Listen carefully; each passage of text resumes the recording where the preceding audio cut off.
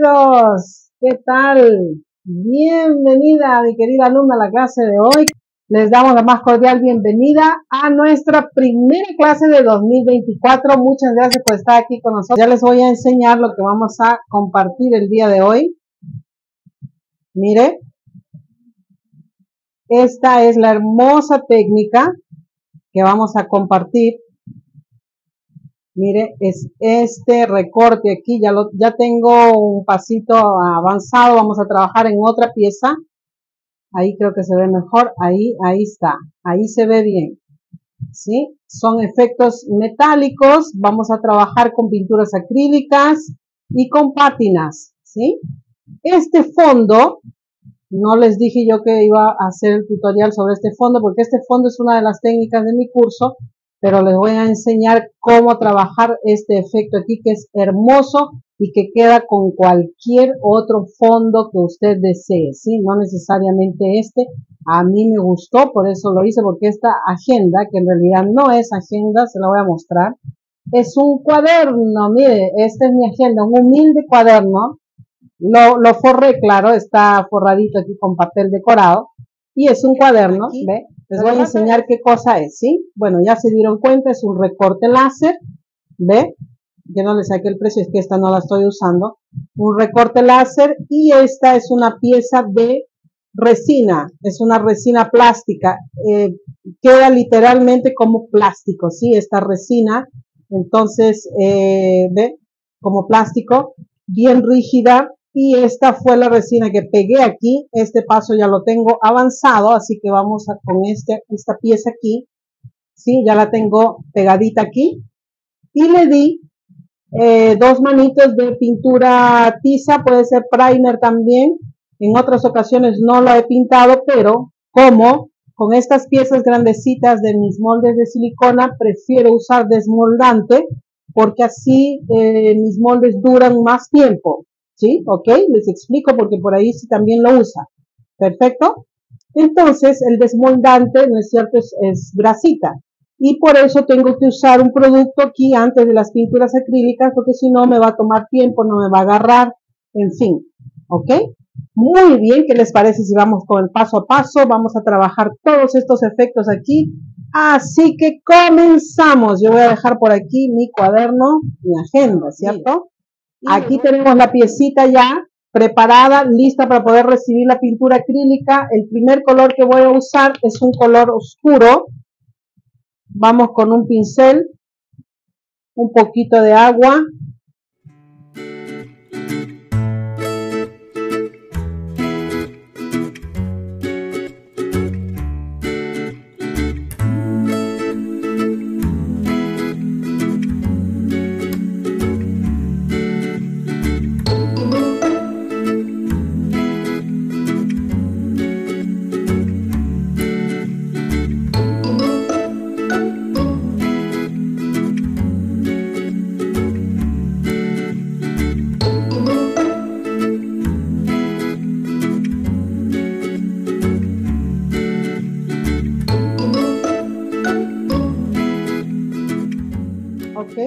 Entonces, cuando los metales se comienzan o se, oxidan, ¿no es cierto?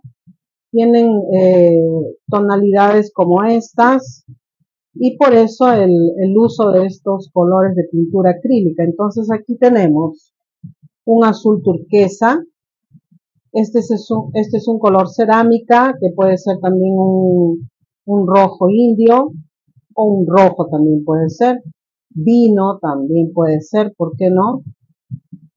Eh, amarillo, que puede ser un amarillo básico, un amarillo limón, en realidad varios tonos de amarillo pueden ser porque eh, así es como la naturaleza, ¿no es cierto?, nos, nos lo proporciona. Entonces, como estamos imitando, ¿no? Por eso es un efecto, un poquito de este otro amarillo, entonces si tiene dos tipos de amarillo, dos tonos de amarillo, está perfecto.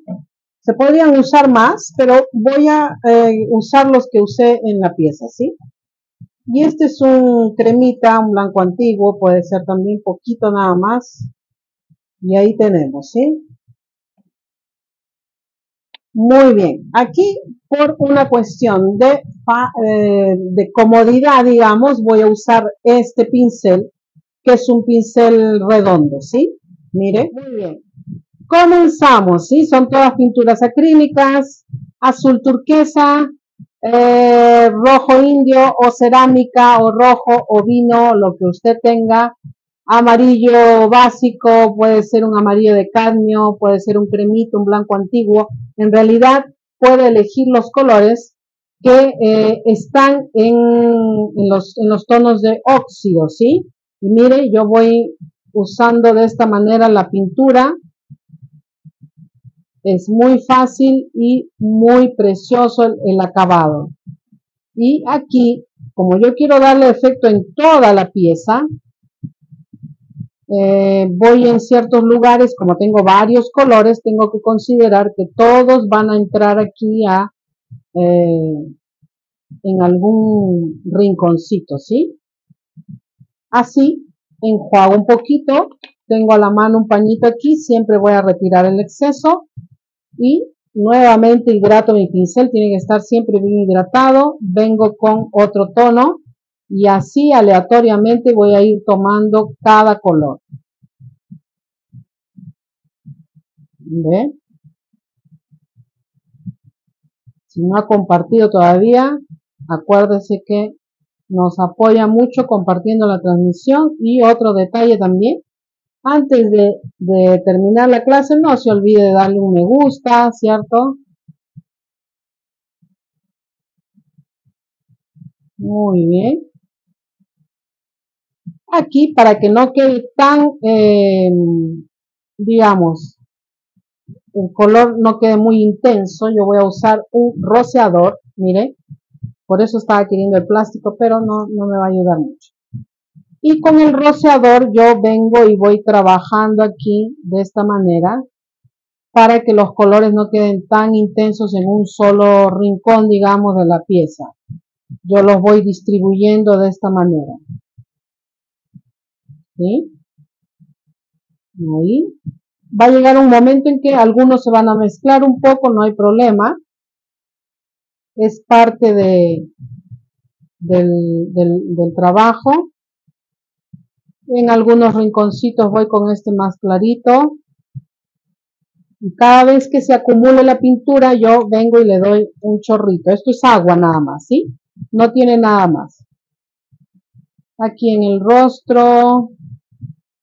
Vamos con un amarillo, vamos con este, este otro amarillo que hasta ahora no lo había tomado.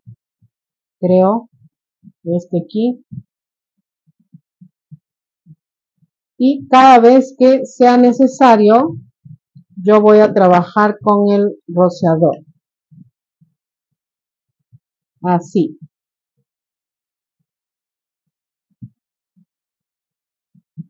en realidad esta técnica la puedo hacer con cualquier otro pincel solo que ah, me facilita de verdad muchísimo especialmente porque estoy trabajando en una pieza con eh, relieve no y eh, tiene la puntita, ¿no? Que me ayuda bastante, entonces tiene bastantes ventajas, digamos así, eh, trabajar con este pincel. Para esto que, ¿no? Que usted ve que estoy trabajando aquí en la pieza.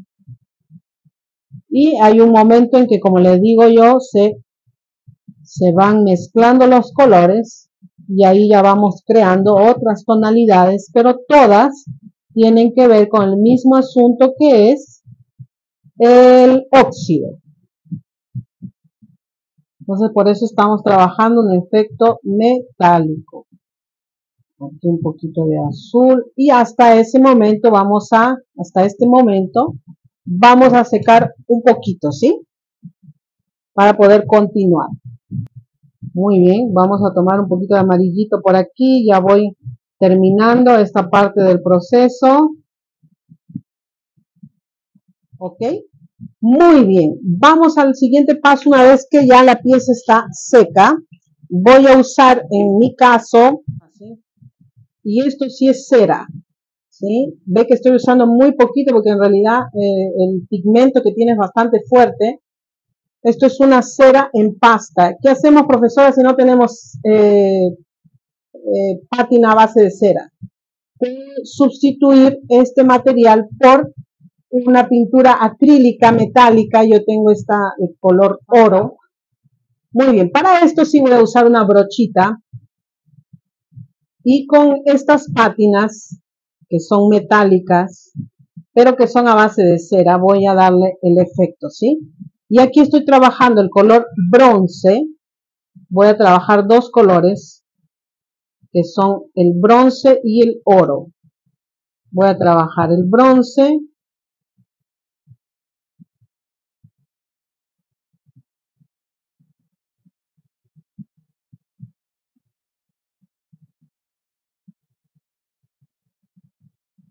y este material siempre lo vamos a usar en poquísimas cantidades porque si no nos va a manchar y la pieza se va a ver bronce o se va a ver oro y todo lo que ha trabajado va a verse muy poquito, ¿sí?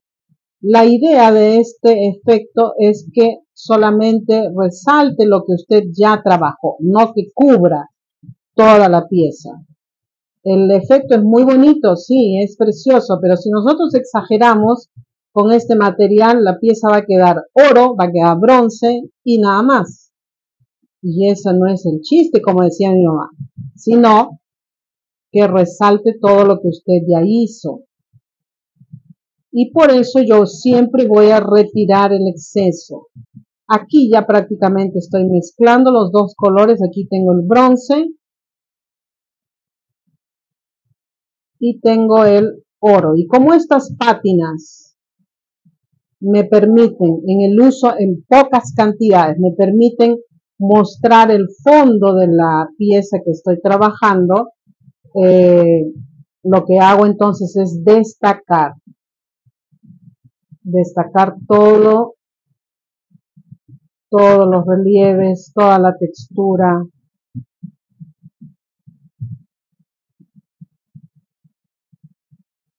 Poquísima cantidad, ¿sí?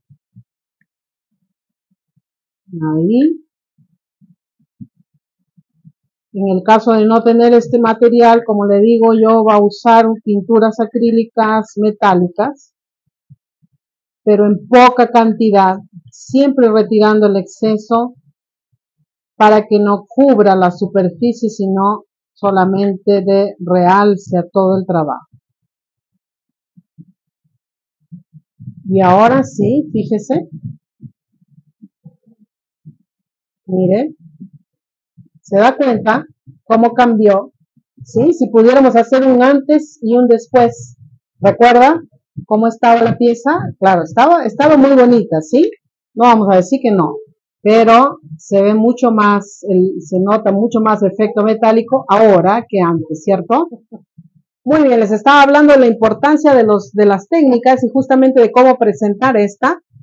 Eh, esta les había comentado, ¿no? Esta técnica es la técnica de uno de mis cursos, no sé si lo escuchó, eh, Técnicas Especiales 1, que comienza el 15 de febrero. Y esta es la técnica, mire, así la presenté yo en una agenda, claro que le añadí un poquito más de un tono oscuro aquí, a gusto mío, ¿no? Eso lo puede hacer también. Toda técnica tiene sus variaciones, usted puede variar en cuanto a colores, en cuanto a acabados, y mire, ahí está la técnica que le acabo de compartir ahora, ¿sí? En esta clase. Mire qué hermosa queda. Imagínense esta, eh, esta pieza, esta presentación así, con este fondo en una caja, la puede ser la tapa de una caja, puede ser una caja libre, puede ser lo que usted quiera, ¿sí? Le voy a presentar algunas otras técnicas de este curso Técnicas Especiales 1. Solamente algunas, ¿sí? Para que usted vea cómo se ven preciosas. Mire. Ahí está. Vamos con esta otra. Esta es bellísima. Muy, muy bonita. Mire. Qué lindo, ¿cierto? Eso podría ser la pieza que usted quiera. Yo la voy a presentar en el curso. Cada técnica se las presento con algún objeto, alguna pieza, alguna caja, algún cuadro, ¿sí? Estas se las presento en un baúl, se las presento en una botella, entonces la superficie dónde trabajar la técnica, usted la elige. Mire, mire esta otra, qué, qué preciosa. Hermoso, ¿cierto? Yo sé. Las técnicas son bellísimas. Mire esta otra. Todas son técnicas del mismo curso, ¿sí? Mire. Hermosa, ¿cierto? Le voy a presentar una más, ¿sí? Una más. Mire qué hermosa. Bello, ¿cierto? Todos estos, eh, estos acabados que le he presentado son técnicas de mi curso que comienza ahora el 15 de febrero. ¿no? A partir de mañana ya podemos eh, brindarle todas las informaciones, pero las matrículas solamente se abren el día 22, ¿sí? A partir de la próxima semana ya se abren las matrículas si está interesada, si le gusta, si quiere aprender más, porque lo que le he mostrado es solamente un pedacito de todo lo que está en el curso. Si le interesa, ya tiene ahí nuestro número de WhatsApp para que pueda entrar en contacto, ¿sí? El mismo canal, así que no se me pierda, ingrese al grupo de WhatsApp para que se entere de todo y a partir de la próxima semana ya están abiertas las matrículas para el curso Técnicas Especiales 1. Bueno, muchísimas gracias a todos por estar conmigo. Muchas gracias. Un fuerte abrazo, que Dios les bendiga y nos vemos. Chao, chao.